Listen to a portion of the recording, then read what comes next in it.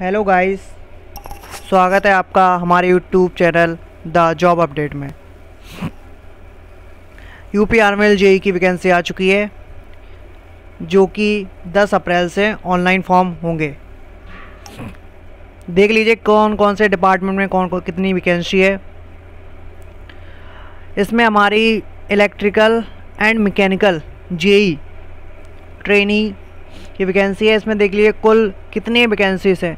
हमारी इलेक्ट्रिकल में 69 वैकेंसी हैं, जिसमें जनरल कैटेगरी की 42 एंड ओबीसी की 50 15 एंड एससी कैटेगरी 5 और एसटी कैटेगरी 3 और ईडब्ल्यूएस की 4 हैं एंड पीडब्ल्यूडी जो दिव्यांग लोग हैं, उनकी 2 है और भूतपूर्व सैनिक के लिए तीन और स्वतंत्र सेनानी के लिए एक वैकेंसी है। उसी प्रकार हमारे मैकेनिकल्स में मैकेनिकल जेई में 78 कुल 78 वैकेंसियाँ हैं, जिसमें जनरल की 46 है, ओबीसी की 17 एंड एससी की 6 और एसटी की 4 वैकेंसीज हैं। ईडब्ल्यूएस की पाँच वैकेंसी हैं और पीडब्ल्यू डिपार्टमेंट पी पीडब्ल्यूडी दिव्यांग दो एंड ईएसएम चार और डीएफएफ वन वैकेंसी है। इसी प्रकार हमारे कुछ और डिपार्टमेंट हैं जिसमें वैकेंसी दी गई है, जैसे electronics and controls and instrumentation इसकी भी काफ़ी वैकेंसियाँ यहाँ दी गई हैं। थर्टी नाइन वैकेंसीज दी गई हैं।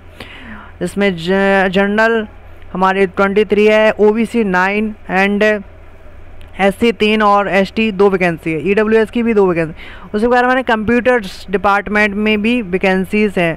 टोटल दस वैकेंसी हैं कंप्यूटर में एंड छः हमारी अनरिजर्व हैं। एंड दो ओ बी सी हैं वन एस सी है और एस टी की कोई भी वैकेंसी नहीं ई डब्ल्यू एस की इसमें एक वैकेंसी है। इसमें देख लीजिए कितना मतलब लेवल कितना, चवालीस हज़ार नौ सौ रुपये प्रारंभिक वेतन हमारा काफ़ी इसमें दिया गया है, चवालीस हज़ार। लेवल से लेवल सेवन के अनुसार पे होगा हमारा। इसमें एजिबिलिटी देख लीजिए एजिबिलिटी क्या है? एजिबिलिटी देखो थ्रू हिंदी देवनागरी भी मतलब आपका हाई स्कूल होना चाहिए हिंदी में, हिंदी होनी चाहिए आपकी। That's it and three year diploma exams हैं इलेक्ट्रिकल मैकेनिकल इलेक्ट्रॉनिक्स और कंट्रोल इंस्ट्रूमेशन में हमारा थ्री ईयर डिप्लोमा मान्य है यहाँ पर। ठीक है? And computer engineering also organise and state government and three year diploma examination electrical mechanical electronics control instrumentation engineer conductor by All India Council of Technical Education Government of India and Delhi polytechnic ये हमारे मान है यहाँ पर। इसी प्रकार आप देख लीजिए, जो भी यहाँ पर क्वेरी हो तो आप सवाल पूछ सकते हैं हमसे, हमारे कमेंट सेक्शन में जाके। इसमें एज देख लीजिए, इसमें मिनिमम एज है जो है ना, वो हमको वो इसमें अठारह होनी चाहिए और मैक्सिमम चालीस वर्ष हो सकती है। इससे और जो भी हमारे आयु में जो, आयु में जो भी छूट होगी, वो एससी कैटेगरी और एसटी कैटेगरी में और ओबीसी में दी जाती है। अधिकतम आयु पाँच वर्ष की छूट दी है इन्होंने।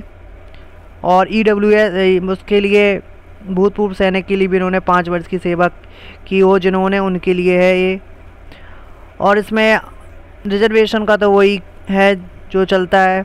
आवेदन शुल्क इसमें वो दिया है, एक हज़ार रुपये हमारे जनरल कैटेगरी का है एससी और एसटी कैटेगरी सात सौ रुपये है, और दिव्यांगों के लिए हमारे यहाँ दस रुपये फ़ीस है।